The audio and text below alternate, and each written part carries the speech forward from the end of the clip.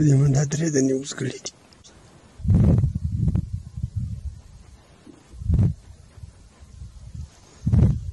تاوکه صاحب څه دی هلته ولاړ نو سیم ډېر جوړ کړی هو یک سو تیس تا پیدا کړی نو دا نور خلک هم ډېر پیدا کړي تا خدای وایي لکه کتل کېده ماشاءالله اوس تا دا دی